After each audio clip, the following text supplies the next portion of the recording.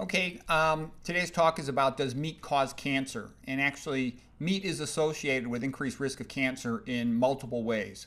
First, the fat in meat increases insulin resistance. And the best paper for this is the Brownlee, uh, Michael Brownlee. I won the Banting Award in 2004 paper on a unifying theory of diabetes complications. Um, it's a great paper. I think it's the best paper I've written on it on, on diabetes. So, number one, fat causes in, insulin resistance, IR for insulin resistance, which increases insulin levels in the blood, trying to compensate for the insulin resistance. The insulin, even though it the cells are not as sensitive to it as they normally would be, it still remains its mitogen function, meaning that it induces other cells to divide and replicate. Things that speed up cell division, cell replication, um, are often associated with cancer. So hyperinsulinemia is associated with increased risk of cancer. That's number one. Number two, diabetes, which can be induced by a high meat diet on a chronic basis, um, can lead to hyperglycemia, and chronic hyperglycemia is associated with providing more glucose in this context on a continuous basis, um, associated with increased risk for cancer. Um, a high meat diet is associated with increased levels of insulin like growth factor in the blood, ILGF. Sometimes you'll see the one after it, ILGF1, which is associated with accelerated cell growth and replication and is thought to potentially be one of the mechanisms by which a high meat diet increases the risk of cancer. ILGF1 also decreases um, the likelihood of a cell going into apoptosis. Um, it's preferable that a cell goes into apoptosis, programmed cell death, than that it would become cancerous. Because what I'm talking about here is the metabolic theory of cancer. There's two main theories of cancer. There's a genetic theory of cancer, you know, vulnerable predispositions exposed to some form of a toxin and thus inducing cancer. Then the second thing is there's cells simply predisposed to increased risk of cancer by hypoxia. And the classic work on that was done by Otto Warburg. He won a Nobel Prize in about 1930. And the gist of it being normally a cell is part of an organ system, part of the liver, part of the kidney, part of the lung, and it does whatever cells do for that organ. And they work together as a team. And their contacts with adjacent cells tell them not to divide. So these are highly specialized differentiated cells. The metabolic theory of cancer is that when these cells become hypoxic, for example, they can't get enough oxygen. That drops their ability to produce ATP energy by, you know, about 18 fold. And sometimes these cells will de-differentiate and become more primitive and simplistic, like a bacteria that's simply out for itself trying to grow and it'll no longer pay attention to the cues, the signals from the adjacent cells. It'll no longer do what it's supposed to do as part of the liver or the lung or the kidney or the pancreas or the breast or the you know, prostate and just become cancerous. It only grows for the sake of itself to replicate and it tries to spread and divide, metastasize. Okay, so things that cause hypoxia are going to increase that risk of a cell becoming cancerous. You know, quite often a cell that's deprived of oxygen, it just dies. Okay, and that's apoptosis when it happens gradually. It's an infarction when it happens suddenly. But these are important concepts because there's lots of uh, things that are associated with increased cancer risk by inducing hypoxia, for example. And then when it goes into anaerobic metabolism, the, the de-differentiated cancer cell, now functioning like an anaerobic bacteria, it'll extrude uh, lactic acid from its glucose metabolism. It can metabolize 100 times more glucose than the adjacent cells. And by putting lactic acid around it into the extracellular matrix, it helps to make its generalized area, its extracellular matrix milieu, more acidic, and that favors cancer growth. So things that cause acidosis will have a tendency to be associated with increased cancer risk. Okay. Um, and just for example, you know, the purpose of milk is to help a baby cow grow very quickly. Milk will increase insulin-like growth factor, and thus that's also mitogenic. So insulin-like growth factor, it's like insulin. They're both mitogenic. Mitogenic means to increase the likelihood of mitosis, cell division. Okay, uh, number four is meat tends to have higher levels of leucine. Leucine is an amino acid present in higher amounts in meat, and leucine is associated with increased activation of mTOR. mTOR is mammalian target of rapamycin, and mTOR is primarily thought of as a nutrient sensing pathway. It's like a contractor getting ready to build a building. The contractor will not build until he has all the building materials equivalent uh, available. And leucine tends to be the rate limiting step. So when leucine becomes available, mTOR is more likely to activate a cell to divide. mTOR Leucine is also associated with increasing insulin-like growth factor, and leucine is present in higher amounts in general in meat. So that's another reason why meat is associated with increased risk of cancer. Number five, animal protein and saturated fat are both associated with an increase in LDL cholesterol. Just about everybody knows that studies any nutrition that saturated fat, the typical meat fat, is associated with increased uh, blood cholesterol levels. I thought it was quite interesting. I learned this from T. Colin Campbell. He's the protein expert, the guy who wrote the China study. That animal protein will also increase LDL cholesterol. And, and you know, why would it do that? And again, I got this idea from T. Colin Campbell and some other reading that it seems like meat induces this hyper um, metabolic phase towards building stuff. Um, it's just sort of a general idea, a loose concept, but it does seem to do that. Um, so that might explain how animal protein would increase LDL cholesterol. If you're going to start cell replication, those replicating cells are going to need more cholesterol. Uh, they're also going to need some other things. They're going to need more iron, for example, and we're going to come to that in just a moment. Okay, number six, for reasons why meat is associated with increased risk of cancer. And by the way, T. Colin Campbell, he's the world's expert on protein. He says that uh, milk in particular, in his opinion, is the number one carcinogen, the most powerful carcinogen in the world.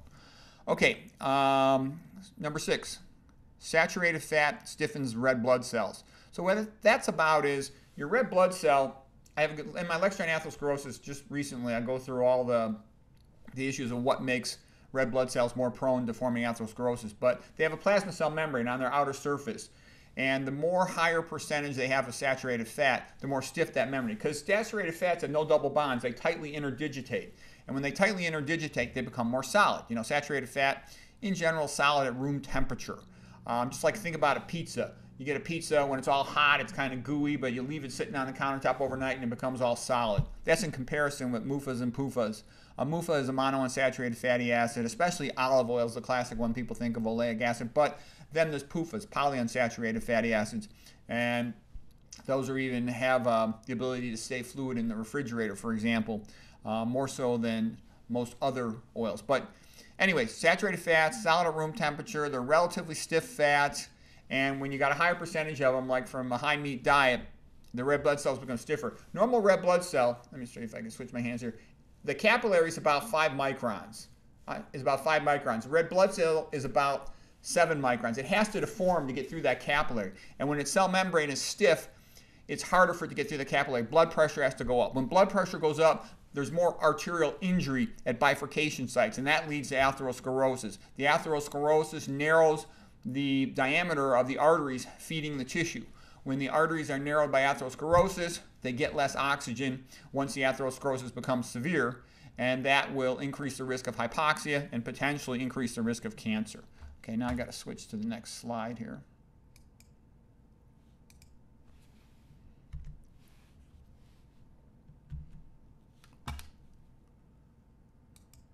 Okay, number seven reason why meat is associated with increased risk of cancer. Meat changes the bacterial flora. There's basically two types of flora. There is plant flora, and that's in the present. Plants provide lots of fiber, so they get a different type of flora. Meat and processed food pretty much is almost the same in terms of the gut flora that arise from it. Both meat and processed food tend to be very, low. there's no fiber in meat, and there's very low fiber typically in processed food. Okay, so meat changes the gut bacteria. The gut bacteria associated with meat are more likely to not help the colonocytes maintain their tight junctions, so you're more likely to have leaky gut. Um, leaky gut means increased permeability of the intestinal barrier, and that's associated with more systemic inflammation because larger things get through that intestinal lining. It's only a single cell thick.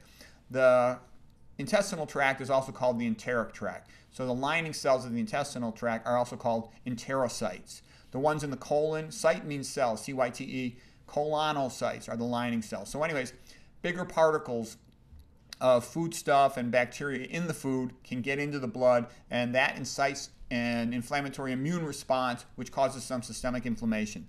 Systemic inflammation is thought to be associated with increased risk of atherosclerosis.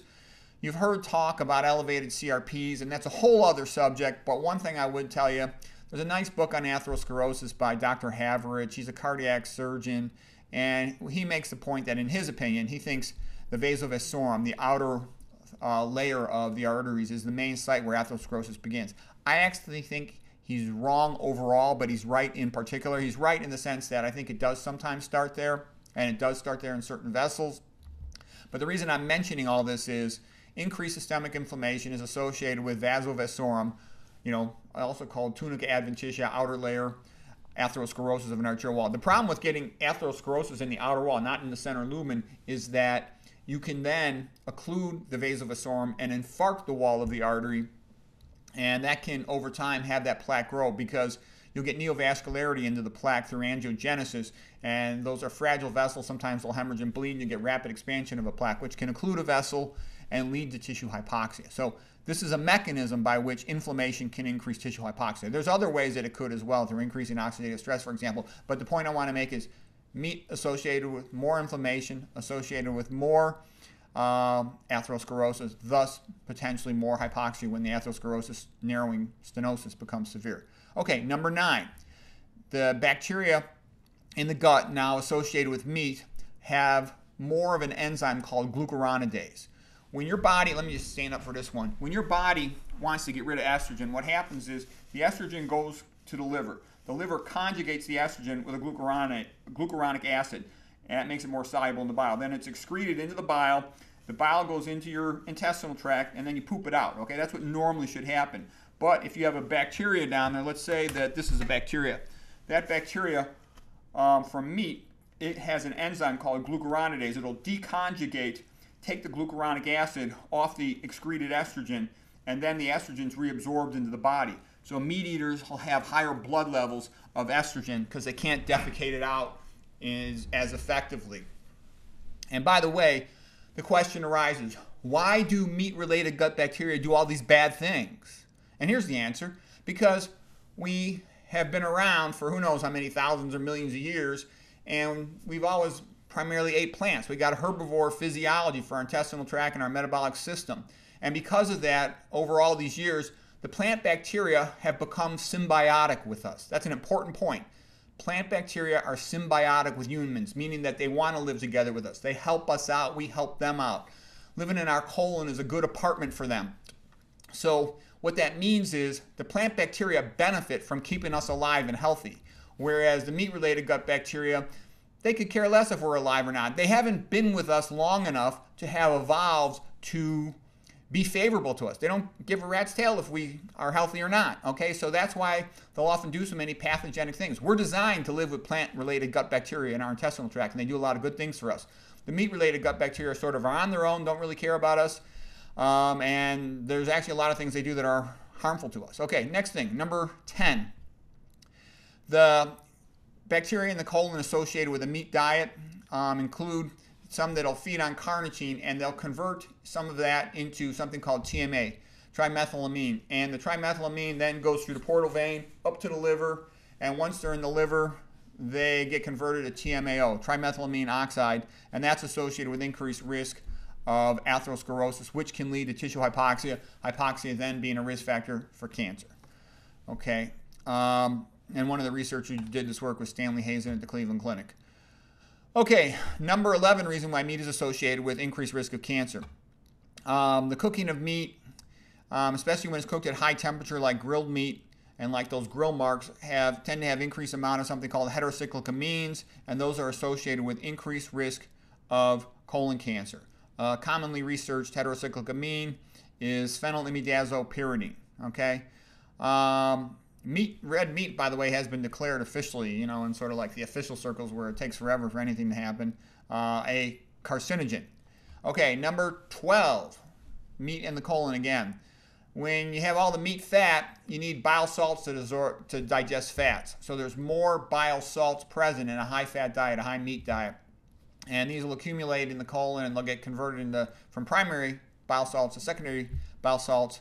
And these are carcinogenic um, increase the risk of colon cancer.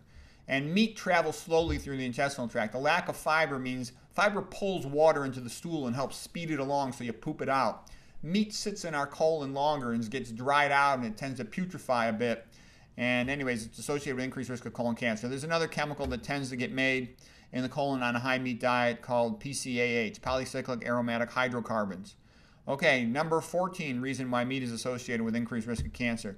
You also tend to accumulate N-nitrosyl compounds in the colon, which are associated with increased risk of cancer. Okay, got to go to the next slide.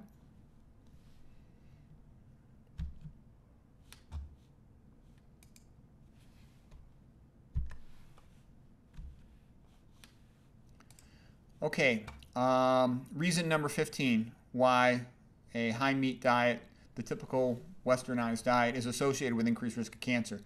Sodium in salt is very often used to flavor meat or to preserve the meat.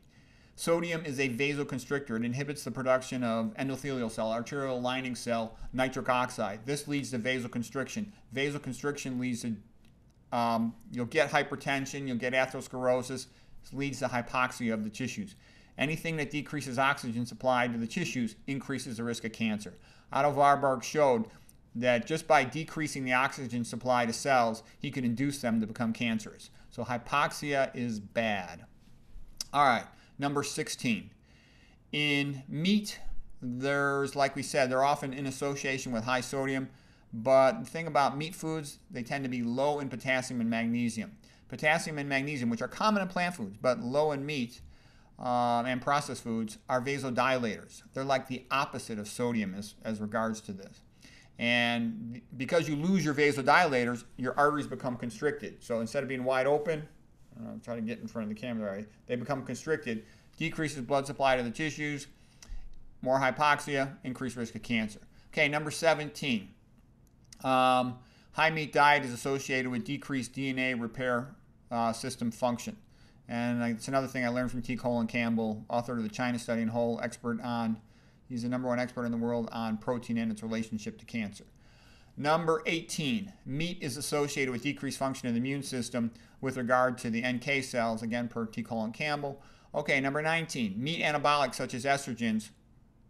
Um, the meat cattle, for example, they're often given estrogen compounds, sometimes multiple estrogen compounds to accelerate growth.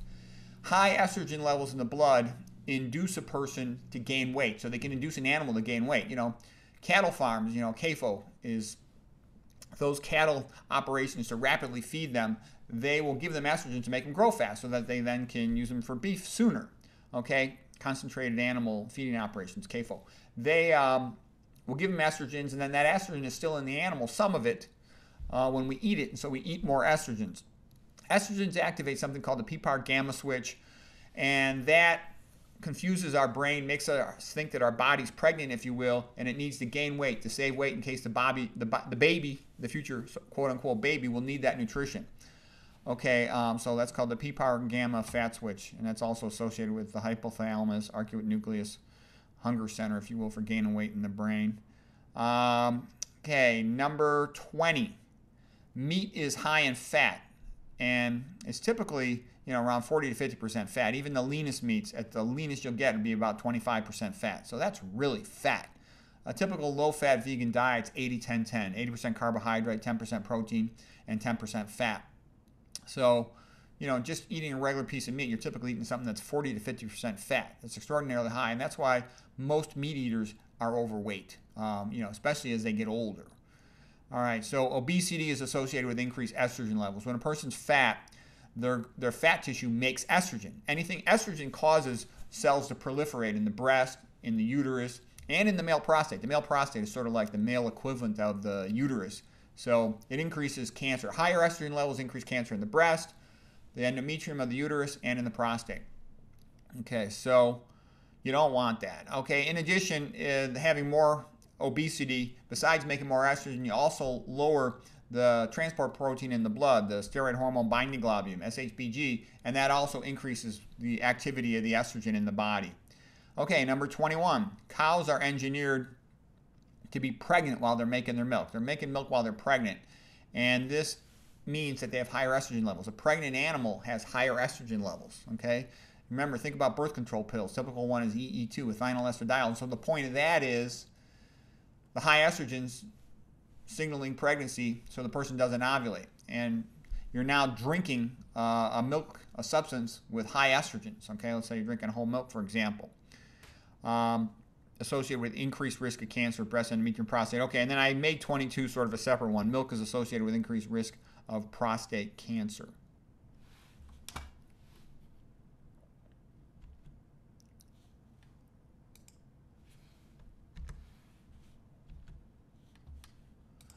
Okay, um, number 23, reason why meat is associated with increased risk of cancer. Uh, we talked about fiber preventing leaky gut and how fiber reduces the risk of colon cancer. And the big thing that the, the good bacteria do is they produce short chain fatty acids, acetate, propionate, and butyrate. And butyrate in particular is used for over two thirds of the energy of the colonocytes. And when you decrease that amount, um, the colonocytes don't function as well and they're at increased risk for cancer. That's thought to be another association. Okay, number 24, meat has high heme iron. Okay, heme iron is absorbed in much higher amounts than is plant iron. And eventually, it takes decades, but a person will tend to develop something I call iron overload um, syndrome. And they're at increased risk to have high blood levels of ferritin, especially if cells die in their liver from fatty liver, for example, or other reasons. And they'll, they'll get higher free floating iron in the blood.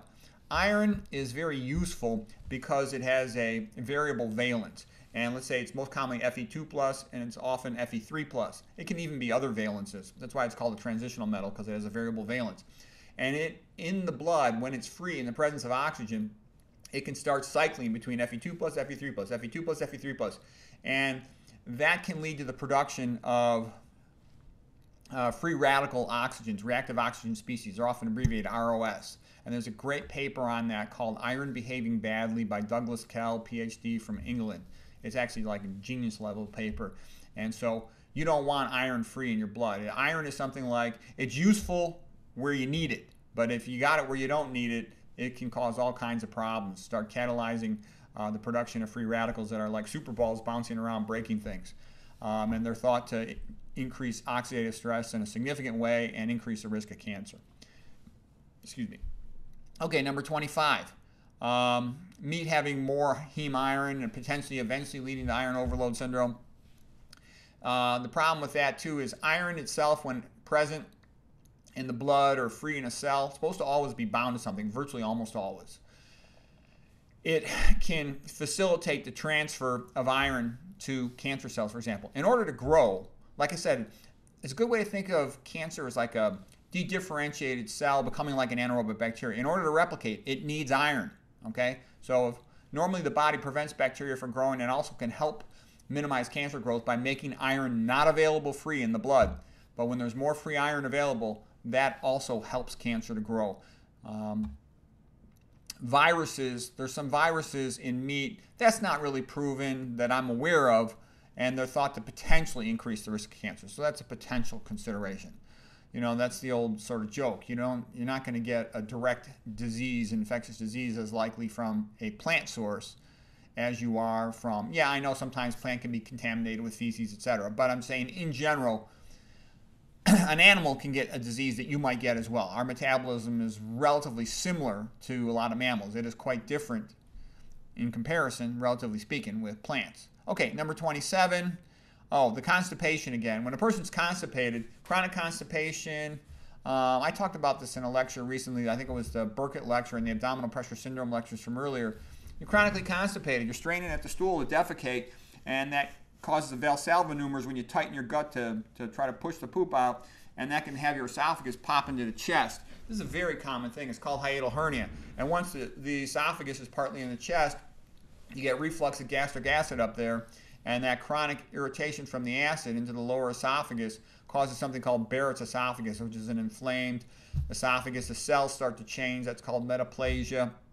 And that is at increased risk for cancer formation. You know, back in the 1980s, the most common cause of esophageal cancer was smoker drinker cancer. That's what we always called it for squamous cell carcinoma. But nowadays, the most common form is adenocarcinoma because so many people are fat and constipated from eating a high meat, high oil, junk food diet and they got hiatal hernias, gastroesophageal reflux, GERDs, typically abbreviated gastroesophageal reflux disease. And um, so that's another way that meat is associated with increased risk of cancer. Okay, number 27. Um, the salt that we spoke about earlier being used to preserve and flavor meats, typically sodium chloride. The chloride is a negatively charged ion, an anion, And the body has to balance all its, its ions, anions and cations, positive and negative ions, because it has to maintain its osmotic um, equilibrium. If you have too much ions outside of the cells, you know, water from the cell will pass across the plasma membrane into the extracellular matrix in the blood, and the cells will become dehydrated, and vice versa if there was too much ions inside the cell. And so, because of that, when one ion goes up, there'll be some compensatory ion that goes down. And when you increase chloride more and more, the body um, excretes some of its bicarbonate. The bicarbonate is a pH buffer. So if you're losing your pH buffer, that will induce a low-grade metabolic acidosis. Acidosis favors cancer growth. So that's another reason to limit your uh, sodium intake. Uh, people eating a westernized diet eat far too much sodium. Saltless populations that live out in rural areas that don't add any salt to their food eat about 200 milligrams a day, 200 to 500 at the most, whereas Westerners are often eating you know 5,000 gram milligrams a day, way way more salt. We're talking more than 10 times more than what we're designed to eat.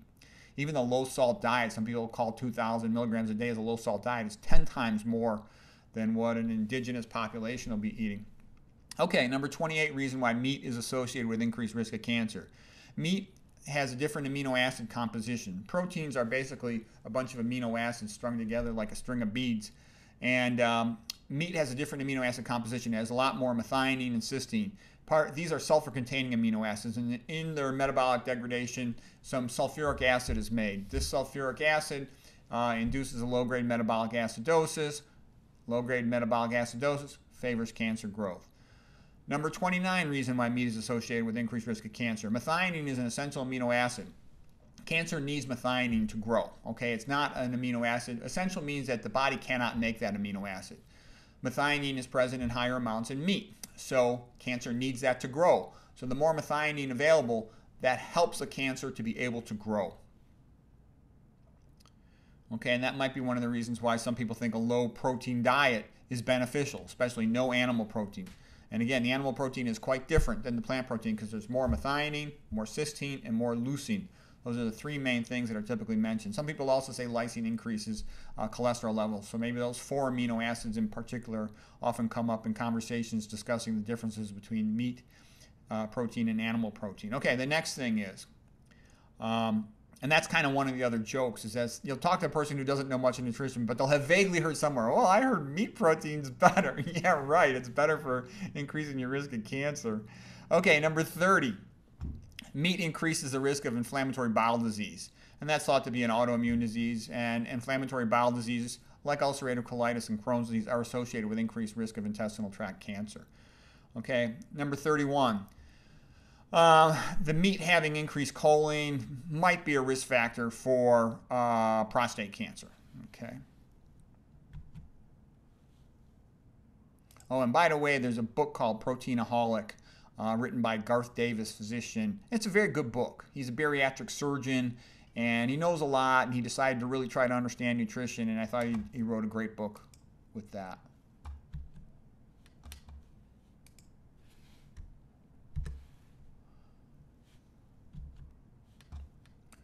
Okay, now we're getting into something a little more complicated, but we'll just go through it fast. Beef and dairy, they, they've got increased amount of a sialic acid called NEU5GC. And NEU5GC means neuraminic acid, uh, and the 5GC is a form that's only present in these animals, not normally in humans, but it only differs from you know the human ones like NEU5AC. It only differs by like a hydrogen group such that the cells of the intestinal tract will actually incorporate this sialic acid uh, into their tissues and other cells. But the problem is the immune system recognizes uh, NEU5GC as being different than NEU5AC, and it will thus um, elicit an immune response and cause systemic inflammation. That systemic inflammation is called xenosialitis, xenophorin sialitis from the sialic acid. Sialic acid is, I, I, drew a picture of this in my last lecture on atherosclerosis, but it's basically very similar. Just think of glucose with a carboxylic acid on it. There's a little more to it than that, but that's basically the gist of it. So anyway, xenosialitis, inflammation from eating meats, another reason why meat causes increased systemic inflammation, and it'll also increase CRP, C-reactive protein in the blood. That's a little tricky though, C-reactive protein. I'll talk about that in an atherosclerosis level. there's some controversy about whether C-reactive protein small elevations, as detected with high sensitivity CRP tests, um, truly are inflammation. They could also be an indicator uh, released from the muscle, a myokine from the muscle signal indicating that the muscle is not able to maintain its glycogen stores because of the fat-induced rouleau formation. Okay, but that's another topic for another time. Uh, number 33, reason why meat is associated with uh, increased risk of cancer. The high protein diets are associated with more of a bacterial infection in the stomach called Helicobacter pylori, and Helicobacter pylori is associated with increased risk of gastric carcinoma. High sodium is also associated with increased risk of gastric carcinoma. So if you're eating a lot of meat with a lot of salt, you're increasing your risk of uh, stomach cancer. Gastric carcinoma, same thing, stomach cancer. Okay. Um, total meat, red meat, processed meat, they're all associated with increased risk of uh, carcinoma. Non-organic meat, especially, is higher in herbicides. Um, let's say than organic meat or you know grass-fed meat, so to speak. So that's another reason why there's increased risk of cancer.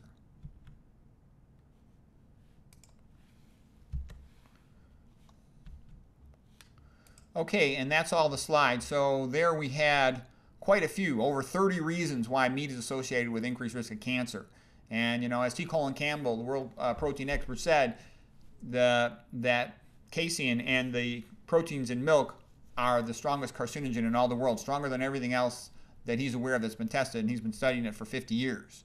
Okay, and you know everything I've read about uh, animal foods and meat suggests numerous ways. Okay, so um, these are another reasons that if you want to reduce your risk of getting cancer or cancer accelerating its growth, it's good to reduce your intake of meat. Okay, that's it.